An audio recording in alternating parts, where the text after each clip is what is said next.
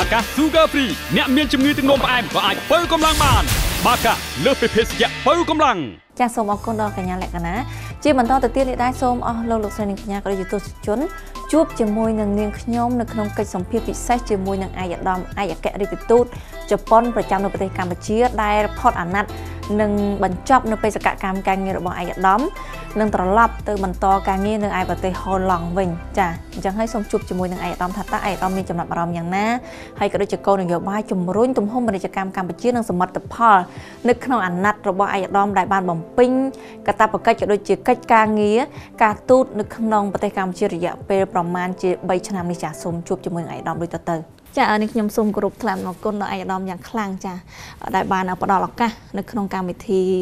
កិច្ចពិភាក្សាពិសេសរបស់យើងដែលនិយាយអំពីតកតងទៅនឹងការវិនិយោគជប៉ុននៅក្នុងប្រទេសកម្ពុជារបស់យើងចាចានៅក្នុងនោះផងដែរជាដំបូងនេះខ្ញុំមានសំណួរដែលតកតងទៅនឹង មុននឹងចូលទៅដល់សមិទ្ធផល គឺតកតងអំពីសក្តានុពលដែលឯកឧត្តមយល់ឃើញថានៅក្នុងអាណត្តិរបស់ឯកឧត្តមនេះកម្ពុជាមានសក្តានុពលអ្វីខ្លះដែលអាចតេទៀងអ្នកវិនិយោគមកកាន់ប្រទេសកម្ពុជាបន្ថែមទៀតជាពិសេសគឺនាងខ្ញុំផ្ដោតសំខាន់ទៅលើការវិនិយោគជប៉ុនតែម្ដងហើយនៅក្នុងនោះគឺចង់ដឹងអំពីទំហំនៃការវិនិយោគដែលសម្រេចបានក្នុងពេលកន្លងមកផងដែរថាតើទំហំនៃការវិនិយោគនោះមានទំហំប៉ុណ្ណាហើយប្រភេទនៃការវិនិយោគភាគច្រើនជាប្រភេទអ្វីដែលជប៉ុនមកវិនយោបាយក្នុងប្រទេសកម្ពុជារបស់យើងចាសសូមអរគុណខ្ញុំសូមថ្លែងអំណរគុណនៅពេលនេះក្រុមហ៊ុនជប៉ុននៅកម្ពុជាមានច្រើនជាង260ហើយវិនិយោគរបស់ជប៉ុនមានច្រើនវិស័យនៅក្នុងនោះមានផ្សារទំនើបអ៊ីអនដែលគេបើកផ្សារទំនើបអ៊ីអន2ផងដែរហើយពួកគេទទួលបានជោគជ័យយ៉ាងខ្លាំងផលប្រយោជន៍នៃការវិនិយោគក្រុមហ៊ុនអ៊ីអនគឺមិនគ្រាន់តែជាក្រុមហ៊ុនមួយដែលជោគជ័យនៅកម្ពុជាទេ តែយើងផ្ដល់អធិពលវិជ្ជមាន នៅក្នុងជីវភាពរស់នៅរបស់ប្រជាជនក្រុងភ្នំពេញនៅក្នុងវិស័យផលិតកម្មគឺច្រើនមានរោងចក្រនៅក្នុងតំបន់សេដ្ឋកិច្ចពិសេសនៅទីក្រុងភ្នំពេញនៅក្នុងនោះមានក្រុមហ៊ុនមីយ៉ាមេទីនីដែលជាក្រុមហ៊ុនដែលបង្កើតការងារជាច្រើនដល់ប្រជាជនកម្ពុជា ដែលកំពុងតែផលិតគ្រឿងបន្លាស់អេឡិចត្រូនិកផងដែរ។ ដោយសារតែជីវភាពប្រជាជនកម្ពុជាកំពុងតែកើនឡើងយ៉ាងខ្លាំងដូច្នេះហើយការវិនិយោគរបស់ក្រុមហ៊ុនជប៉ុនលើវិស័យហិរញ្ញបទានិងធានារ៉ាប់រងមានការកើនឡើងផងដែរនៅសប្តាហ៍ក្រោយក្រុមហ៊ុនថ្មីដែលជាធនាគារ Trust Royal គាត់នឹងចាប់ផ្ដើមធ្វើការផងដែរអឺជាបន្តនេះខ្ញុំចង់ដឹងអំពីតកតងទៅនឹងសម្រាប់ទំហំនៃការវិនិយោគ ជាទឹកប្រាក់វិញថាតើបច្ចុប្បន្ននេះទំហំនៃការវិនិយោគមានការមានប្រមាណជាប្រមាណដែរដែលគម្រោងវិនិយោគជាង200ហ្នឹងហើយនៅក្នុងនោះយើងអាចប្រៀបធៀបថាទំហំកើនឡើងពីមួយឆ្នាំទៅមួយឆ្នាំនៅក្នុងអាណត្តិរបស់អាយដាមថាតើអាចកើនឡើងប្រមាណភាគរយដែរចា៎ខ្ញុំបាទធ្វើការនៅប្រទេសកម្ពុជា3ឆ្នាំហើយហើយនៅពេលនេះទឹកប្រាក់សរុបនៃការវិនិយោគរបស់ក្រុមហ៊ុនជប៉ុនគឺកើនឡើងដល់3.3ដង នៅឆ្នាំ2000 2005ទឹកប្រាក់វិនិយោគសរុបមកដល់ឆ្នាំ2015គឺ770លានដុល្លារអាមេរិកដែលតួលេខនេះគឺរាប់បញ្ចូលដល់2540លានដុល្លារដល់ឆ្នាំ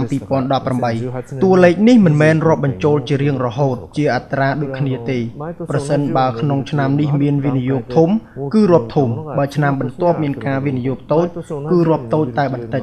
ប៉ុន្តែនៅឆ្នាំក្រោយ មានវិនិយោគធំគឺរាប់ធំ ដូចនេះរបៀបនៃការរាប់បញ្ចូលទំហំទឹកប្រាក់គឺជាបណ្ដាបណ្ដាអឺមួយទៀតចង់ដឹងថាតើទំហំដល់ពេលបច្ចុប្បន្ននេះយើងសរុបទៅអឺបើតាមតួលេខឃើញ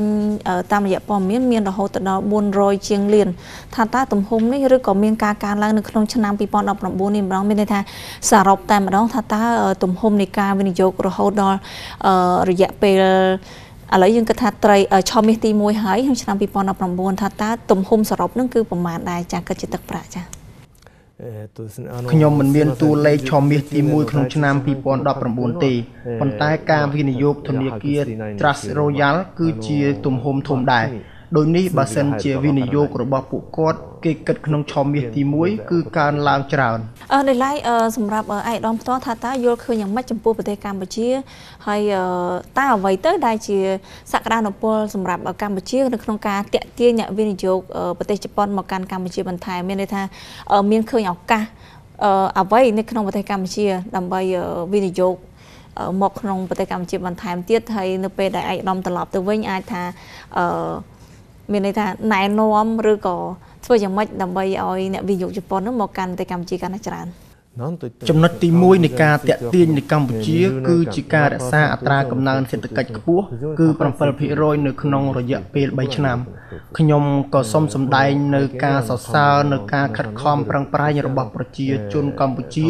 ក៏ដូចជាថ្នាក់ដឹកនាំរបស់រដ្ឋាភិបាលកម្ពុជាដែលសម្រេចបាននៅកំណើនសេដ្ឋកិច្ចដ៏ខ្ពស់បែបនេះ។ ចំណុចទី2គឺពាក់ព័ន្ធភូមិសាស្ត្រនៃប្រទេសកម្ពុជា ដែលកម្ពុជាស្ថិតនៅកណ្ដាលនៃទន្លេមេគង្គដូច្នេះស្រួលនាំចេញផលិតផលទៅប្រទេសថៃនិងវៀតណាម មួយទៀតកម្មករនៅកម្ពុជាមានអាយុក្មេងនិងខិតខំប្រឹងប្រែងធ្វើការនេះគឺជាចំណុចតាក់ទាញមួយផងដែរអ្នកដែលស្គាល់ចំនួននេះតិចទេ តែកម្ពុជាមានលក្ខខណ្ឌសម្រាប់ក្រុមហ៊ុនបរទេសដែលមកវិនិយោគនៅប្រទេសកម្ពុជាដូច្នេះហើយឧបសគ្គមិនមានទេដែលមកធ្វើការនៅប្រទេសកម្ពុជា ហើយពេលដែលខ្ញុំត្រឡប់ទៅប្រទេសជប៉ុនវិញខ្ញុំនឹងនិយាយជាមួយប្រជាជនជប៉ុនអំពីភាពតាក់ទាញរបស់កម្ពុជា ជាគោលដៅវិនិយោគហើយចាប់តាំងពីសម្ដេចហ៊ុនសែនបានទៅទស្សនកិច្ចនៅប្រទេសជប៉ុនមកពេលនោះសម្ដេចតេជោបានចូលរួមសិក្ខាសាលាស្ដីពីវិនិយោគមកប្រទេសកម្ពុជា ហើយសម្ដេចតេជោផ្ទាល់បានមានប្រសាសន៍ជាមួយតំណាងសេដ្ឋកិច្ចជប៉ុនជាច្រើនអ្នកពីភាពតាក់ទាញនៃកម្ពុជាផងដែរអ្នកវិនិយោគជប៉ុនភ្ញាក់ផ្អើលពេលដែលថ្នាក់ដឹកនាំប្រទេសនិយាយដោយផ្ទាល់ពីក្តីសង្ឃឹមនៃការវិនិយោគរបស់ជប៉ុនមកកាន់ប្រទេសកម្ពុជាហើយសង្ឃឹមថាក្រុមហ៊ុនជប៉ុនមានការវិនិយោគបន្ថែមទៀតមកកម្ពុជាដោយឡែកវិស័យកសិកម្មសម្រាប់ប្រទេសកម្ពុជាក៏ដូចជាវិស័យផ្សេងផ្សេងថាតើមួយណាជាអតិភិបដែលជប៉ុនអាចសម្លឹងមើលឃើញតកតងទៅនឹងការកែច្នៃឬក៏ការអាចនាំផលិតផលពីកម្ពុជាទៅកាន់ប្រទេសជប៉ុនចា៎あのまさにដូចនៅថ្ងៃសៅរ៍មុនខ្ញុំក៏បានចូលរួមក្នុងក្រុមហ៊ុនខាមីដាក់នៅប្រទេសកម្ពុជា ហើយគម្រោងរបស់ពួកគាត់គឺយកអង្ករកម្ពុជា ធ្វើជាផលិតផលមួយផ្សេង គឺនំរ៉ាយស្កាកាបែបជប៉ុនដើម្បីនាំចេញទៅក្រៅប្រទេស ដូច្នេះខ្ញុំយល់ឃើញថាទីផ្សារនៅកម្ពុជាធំទូលំទូលាយដល់ពិភពលោកចាអរដោយឡែកនេះខ្ញុំចង់ដឹងអំពីតកតងទៅនឹងគោលនយោបាយរបស់រាជរដ្ឋាភិបាលជប៉ុនតែម្ដងថាតើគោលនយោបាយរបស់រាជរដ្ឋាភិបាលជប៉ុនក្នុងការ យើងដឹងហើយថាកម្ពុជា និងប្រទេសជប៉ុន គឺជាមហាមិត្តមួយហើយមានទំនាក់ទំនងល្អជាមួយគ្នាជាយូរណាស់មកហើយហើយជប៉ុន បានជួយជាច្រើនតកតងទៅនឹងហេដ្ឋារចនាសម្ព័ន្ធមានផ្លូវថ្នល់មានសាលាអីជាដើមក៏ដូចជារហូតដល់មានគេហៅថាមន្ទីរពេទ្យជប៉ុន ដែលមានឈ្មោះថាគេហៅចំណាំថាហៅពេទ្យជប៉ុនពេទ្យជប៉ុនអឺ ដោយឡែកនេះខ្ញុំចង់ដឹងថាតើគោលនយោបាយរបស់រាជរដ្ឋាភិបាលជប៉ុននឹងបន្តការគ្រប់គ្រងនិងជួយអ្វីបន្ថែមទៀតដល់ប្រទេសកម្ពុជាចា៎នៅពេលបច្ចុប្បន្ននេះនយោបាយប្រទេសជប៉ុន គឺយើងមានការផ្ដល់ជំនួយដល់ប្រទេសកម្ពុជា ដែលមានគោលនយោបាយសំខាន់សំខាន់3ទី1គឺជួយលើកស្ទួយផ្នែកឧស្សាហកម្មក្នុងនោះ គឺជួយពង្រឹងការតបភ្ជាប់គ្នាក្នុងតំបន់ឧស្សាហកម្មការតបភ្ជាប់គ្នារវាងផ្លូវជាតិលេខ1ផ្លូវជាតិលេខ5ដែលជាផ្នែកមួយនៃផ្លូវលបឿនអាស៊ាន ទី2គឺការរៀបចំបរិស្ថានជីវភាពរស់នៅក្នុងទីក្រុង ដូចនេះគឺជាគម្រោង ពាក់ព័ន្ធផ្ទាល់នៅជីវភាពរស់នៅរបស់កម្ពុជា ដែលកន្លងមកយើងមានគម្រោងផលិតទឹកស្អាត តែយើងនឹងចាប់ផ្ដើមប្រើទឹកល្អក់ផងដែរហើយយើងទើបតែផ្ដល់ជំនួយរថយន្តក្រុង ហើយយើងក៏រួមចំណែកក្នុងការរៀបចំភ្លើងស្តុបផងដែរទី3គឺជាអភិបាលកិច្ចក្នុងការជំនួយកំណែទម្រង់ការបោះឆ្នោតក៏ដូចជាពង្រឹងលទ្ធិប្រជាធិបតេយ្យនៅកម្ពុជា កម្មវិធីទាំងអស់នេះ គឺធ្វើដើម្បីកម្ពុជាក្នុងនាមជាប្រទេសមានចំណូលមធ្យមកម្រិតខ្ពស់នៅឆ្នាំ2030អឺមួយទៀតនេះខ្ញុំចង់ដឹងអំពីតកតងទៅនឹងបញ្ហាបរិស្ថានដែលឯកឧត្តមបានលើកឡើងឃើញថាឯកឧត្តមគោលនយោបាយរបស់រាជរដ្ឋាភិបាលជប៉ុនមាន3ប៉ុន្តែនេះខ្ញុំចង់សួរលំអិតបន្តិចថាតើតកតងនឹងបញ្ហាបរិស្ថាននេះសម្រាប់កម្ពុជាថាតើគួរតែជប៉ុននឹងជួយអ្វីខ្លះដូចជាការកែច្នៃសម្រាមឬក៏យ៉ាងម៉េចដែរចា៎ សម្រាប់ការគ្រប់គ្រងសម្រាមយើងបានចូលរួមចំណែកទីតាំងគ្រប់គ្រងសម្រាមចុងក្រោយនៅទីក្រុងភ្នំពេញយើងក៏បានជំរុញឲ្យក្រុមហ៊ុនឯកជនជប៉ុនដែលកំពុងមានបំណងចូលរួមក្នុងការប្រមូលសម្រាមផងដែរ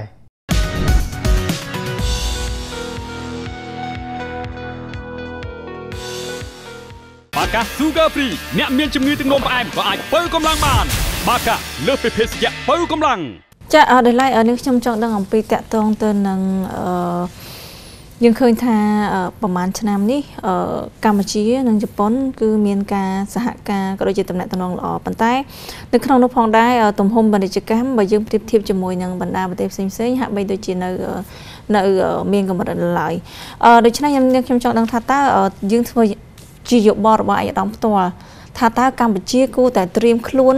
ធ្វើអ្វីបន្ថែមទៀតដើម្បី ឲ្យអ្នកវិនិយោគជប៉ុនហ្នឹងក៏ដូចជាទំហំទឹកប្រាក់នៃការវិនិយោគរវាងប្រទេសទាំងពីរហ្នឹងគឺកាន់តែមានការកើនឡើងហើយពីឆ្នាំទៅមួយឆ្នាំហើយនៅក្នុងនោះអ្វីដែលប្រជាពលរដ្ឋកម្ពុជាត្រូវរៀបចំខ្លួនឯងតើអ្វីដែរចា៎ ជាឧទាហរណ៍មួយគឺការចុះតម្លៃអគ្គិសនីហើយនេះគឺជាការស្នើសុំរបស់ក្រុមហ៊ុនជប៉ុន ដែលរដ្ឋាភិបាលកម្ពុជាសម្រេចលុបចោលកម្ម control នៅក្នុងព្រំដែនផងដែរហើយលុបចោល cam server ផងដែរវិធានការទាំងអស់នេះមានការគ្រប់គ្រងជាខ្លាំងពីក្រុមហ៊ុនជប៉ុន ដែលកំពុងធ្វើទូរកិច្ចនៅកម្ពុជា ដូច្នេះក្រុមហ៊ុនជប៉ុនដែលមកធ្វើការនៅកម្ពុជាបានស្នើសុំកែលម្អបរិស្ថានជុំវិញការវិនិយោគនៅកម្ពុជាដូច្នេះហើយខ្ញុំសង្ឃឹមថារដ្ឋាភិបាលកម្ពុជានឹងបន្តស្ដាប់យោបល់ក្រុមហ៊ុនជប៉ុនក្នុងការកែលម្អបរិស្ថានកម្ពុជា អ្វីដែលជាបរិស្ថានដែលគួរតែការលម្អដំបងគេសម្រាប់កម្ពុជាក្រៅពីបញ្ហាគិសនីក៏ដូចជាបញ្ហាកម្មគ្រប់គ្រងតាមព្រំដែនដូចជាបញ្ហាការចុះបញ្ជីក្រុមហ៊ុនចាប់ផ្ដើមអាជីវកម្មដំបងឬក៏អ្វីផ្សេងទៀតដែលអាចថា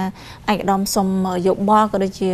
មតិរបស់ឯកឧត្តមដើម្បីកម្ពុជាត្រៀមខ្លួនកែប្រែក៏ដូចជាបំពេញនៅអ្វីដែលអាចថាខ្វះខាតដើម្បីតេទៀងអ្នកវិនិយោគជប៉ុនមកបន្ថែមទៀត នោះជាការផ្នែកមួយនៃអភិបាលកិច្ចប៉ុន្តែសំណួរមួយទៀតដែលនេះខ្ញុំចង់ដឹងសម្រាប់ប្រជាជនកម្ពុជាផ្ទាល់ថាតើខ្លួនឯងត្រូវបំពេញនៅសមត្ថភាពយ៉ាងម៉េចខ្លះដើម្បីអាចបម្រើការងារក៏ដូចជាអាចសហការការងារជាមួយនឹងអ្នកវិនិយោគជប៉ុនឲ្យមានភាពកាន់តែរលូនជាងមុនចា៎នៅពេលបច្ចុប្បន្ននេះអ្នកជំនាញជប៉ុនធ្វើការនៅច្រើនក្រសួងនៅក្នុងរដ្ឋាភិបាលកម្ពុជា ឧទាហរណ៍ថាប្រទេសកម្ពុជាមានទំនាស់ដីធ្លីជាច្រើនដូច្នេះនៅក្នុងក្រសួងដែនដីមានអ្នកជំនាញការជន់ជាតិជប៉ុនដែរដើម្បីធ្វើការសម្រួលក្នុងប្រព័ន្ធចុះបញ្ជីជាដើមម្យ៉ាងវិញទៀតនៅខាងពន្ធដារក៏មានអ្នកជំនាញជប៉ុនដែរដែលធ្វើការជាមួយគ្នាជាមួយភាគីកម្ពុជាក្នុងការបង្កើតប្រព័ន្ធថ្មី ជាបន្តនេះខ្ញុំតំណាងឲ្យប្រទេសកម្ពុជាក៏ដូចជាតំណាងឲ្យ តំណាងឲ្យប្រជាពលរដ្ឋកម្ពុជាចាសូមថ្លែងអំណរគុណដល់ខាងភាគីជប៉ុនក៏ដូចជារាជរដ្ឋាភិបាលជប៉ុនដែលតែងតែជួយកម្ពុជានៅក្នុងនោះផងដែរយើងឃើញហើយថាជំនួយរបស់ជប៉ុនមកកាន់កម្ពុជានោះគឺមានច្រើនចង់ដឹងថាតើទំហំនៃការជំនួយតែម្ដងនៅលើកម្ពុជារហូតដល់បច្ចុប្បន្ននេះទំហំប៉ុន្មានហើយមូលហេតុអីបានជាជប៉ុនមានការជួយជុំជ្រែងកម្ពុជាយ៉ាងច្រើនចា៎ កន្លងមកប្រជាជនកម្ពុជាមានការយកចិត្តទុកដាក់ជាមួយទំនាក់ទំនងរវាងជប៉ុនក៏ដូចជាអ្នកវិនិយោគិនជប៉ុនដូច្នេះខ្ញុំមានការដឹងគុណប្រជាជនជប៉ុនផងដែរនៅពេលឥឡូវនេះខ្ញុំមិនមានតួលេខតាំងពីដំបូងមកទល់នឹងបច្ចុប្បន្នទេ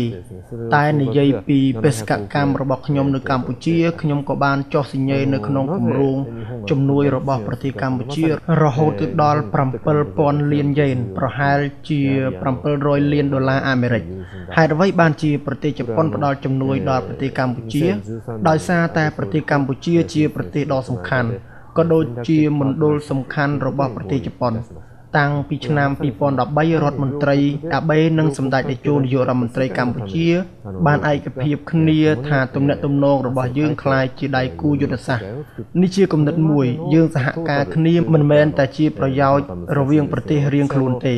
តែដើម្បីសន្តិភាពនៃពិភពលោក ដែលធ្វើឲ្យពិភពលោកកាន់តែល្អប្រសើរ ដូច្នេះទើបយើងខំប្រឹងពង្រឹងទំនាក់ទំនងជាមួយប្រទេសកម្ពុជាអឺដោយឡែកតកតងទៅនឹងសមិទ្ធផលរយៈពេល3ឆ្នាំដែលឯកឧត្តម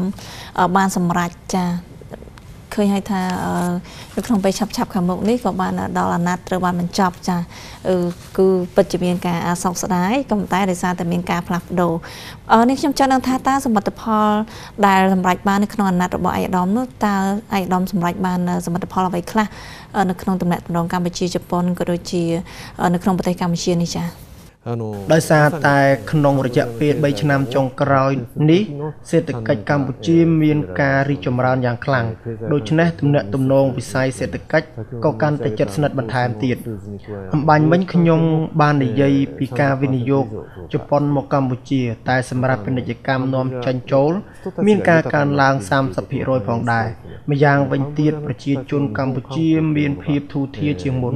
ភ្ញៀវទេសចរកម្ពុជាទៅលេងប្រទេសជប៉ុនក៏មានការកើនឡើងបើធៀបទៅនឹងឆ្នាំ2015គឺកើន2.15ដងនៅពេលដែលខ្ញុំធ្វើការនៅកម្ពុជាខ្ញុំក៏បានចូលរួមជាមួយកម្មវិធីជំនួយរបស់រដ្ឋាភិបាលជប៉ុន ដែលជាទំនាក់ទំនងប្រទេសកម្ពុជាជប៉ុនឧទាហរណ៍ដូចជាការជួសជុលស្ពានជ្រោយចង្វាក៏ដូចជាការពង្រីកផ្លូវជាតិលេខ1សម្រាប់ផ្លូវជាតិលេខ5ក៏កំពុងតែធ្វើការពង្រីកក្នុងរយៈពេល3ឆ្នាំនេះសម្ដេចតេជោហ៊ុនសែនបានទស្សនកិច្ចនៅប្រទេសជប៉ុនរាល់ឆ្នាំ ដែលខ្ញុំក៏បានចូលរួមក្នុងកិច្ចប្រជុំកំពូលរវាងជប៉ុននិងកម្ពុជារាល់ឆ្នាំខ្ញុំក៏សប្បាយចិត្តរីករាយនៅពេលដែលប្រជាជនកម្ពុជាបានតាមដានគេហទំព័រ Facebook របស់ស្ថានទូតជប៉ុនខ្ញុំសប្បាយចិត្តរីករាយដែលខ្ញុំបានបង្ហាញពីប្រទេសជប៉ុនដល់ប្រជាជនកម្ពុជាច្រើនអ្នកជាចុងក្រោយថាតើនៅថ្ងៃអនាគត ជប៉ុនក៏ដូចជាតកតងទៅនឹងនាងខ្ញុំចង់ដឹងអំពីការវិតម្លៃរបស់ឯកឧត្តមផ្ទាល់នៅក្នុងទំនាក់ទំនងកម្ពុជាជប៉ុនរយៈពេល20ឆ្នាំនេះថាតើឯកឧត្តមវិតម្លៃយ៉ាងណាផងដែរចាហើយទៅថ្ងៃអនាគតរាជរដ្ឋាភិបាលជប៉ុនក៏ដូចជាក្នុងនាមឯកឧត្តមផ្ទាល់ថាតើនឹងជំរុញអ្វីបន្ថែមទៀតមកពីនយោបាយក្នុងប្រទេសកម្ពុជា ហើយអ្វីដែលសំខាន់ក៏សូមឲ្យឯកឧត្តមមានសារផ្ដាំផ្ញើទៅដល់បងប្អូនប្រជាពលរដ្ឋកម្ពុជាដែលគ្រប់ស្រឡាញ់ក៏ដូចជាជាមិត្តភាពមួយដ៏ល្អរវាងកម្ពុជាជប៉ុនផងដែរចា៎តាំងពី25ឆ្នាំមុន គឺឆ្នាំ1994ប្រទេសកម្ពុជាបានដាក់នៅក្នុងកម្រិតប្រទេសក្រីក្រ រហូតមកដល់បច្ចុប្បន្ននេះប្រទេសកម្ពុជាបានអភិវឌ្ឍសេដ្ឋកិច្ចជាខ្លាំង ប្រកបដោយសន្តិភាពផងដែរចំណុចនេះខ្ញុំគិតថាប្រជាជនកម្ពុជាពិតជាមានមោទនភាពចំពោះខ្លួនឯងផងដែរនៅក្នុងរយៈពេលដែលកម្ពុជាមានភាពរីកចម្រើនខ្លាំងនោះយើងក៏ជំរុញឲ្យអ្នកវិនិយោគជប៉ុនមកធ្វើការវិនិយោគនៅកម្ពុជាបន្ថែមទៀតហើយយើងក៏ចង់ចូលរួមការរីកចម្រើនជាមួយកម្ពុជាផងដែរនៅពេលដែលប្រទេសមួយកំពុងអភិវឌ្ឍខ្លាំងក៏ជួបជាមួយបញ្ហាផងដែរឧទាហរណ៍តាក់ទងជាមួយបញ្ហាបរិស្ថានជាដើមដូចជាការកកស្ទះចរាចរណ៍ក្នុងទីក្រុងឬបញ្ហាសម្រាម ដែលបញ្ហាបែបនេះអាចកើតឡើងច្រើនទៀតខ្ញុំសង្ឃឹមថាបញ្ហាទាំងអស់នេះនឹងមានការដោះស្រាយដោយសហការគ្នារវាងប្រជាជនកម្ពុជានិងប្រជាជនជប៉ុនបន្ថែមទៀតខ្ញុំសង្ឃឹមថាប្រទេសកម្ពុជានឹងក្លាយជាប្រទេសដែលល្អប្រសើរបន្ថែមទៀតសូមអរគុណសូមជូនពរប្រជាជនកម្ពុជាសុខភាពល្អហើយសុខភាពមង្គលសូមឲ្យមតភាពជប៉ុនកម្ពុជាកាន់តែរីកចម្រើនសូមអរគុណ ចាសូមអរគុណឯកឧត្តមយ៉ាងខ្លាំងមែនតើចាសូមអរគុណជាថ្មីម្ដងទៀតដែលបានចំណាយពេលវេលាដ៏មានតម្លៃចាផ្ដល់បទសម្ភាសរបស់ស្ថានីយ៍ទូរទស្សន៍អប្សរារបស់យើងនៅក្នុងកម្មវិធីពិសេសវិស័យវិនិយោគ ជប៉ុននិងកម្ពុជាផងដែរចាហើយសង្ឃឹមថាអាយដាមនឹងមានវត្តមានមកកាន់កម្ពុជាទោះបីជា ក្នុងលក្ខខណ្ឌណាក៏ដោយមិនថាតែក្នុងវិស័យពាណិជ្ជកម្មក៏ដូចជា ក្នុងវិស័យការទូតក៏ដូចជាតកតងទៅនឹងទស្សនកិច្ចផ្សេងផ្សេងចារវាងកម្ពុជានិងជប៉ុនហើយប្រជាជនកម្ពុជាក្នុងនាមខ្ញុំជាប្រជាជនកម្ពុជាមួយរូបដែរចាសូមថ្លែងអំណរគុណដល់អាយដាមចាក៏ដូចជារាជរដ្ឋាភិបាលជប៉ុនដែលតែងតែជួយដល់កម្ពុជាមានន័យថាខ្វល់ខ្វាយរាល់ទុកលំបាករបស់កម្ពុជាហើយសង្ឃឹមថាវិនិយោគជប៉ុនមកកាន់កម្ពុជាកាន់តែច្រើនឡើងជួយដល់ប្រជាជនកម្ពុជាជាពិសេសគឺតាក់ទងទៅនឹងកសិករអីជាដើមចាចាសូមគោរពអរគុណចាសូមជូនពរឲ្យដំជោគជ័យបន្ថែមទៀតចាចា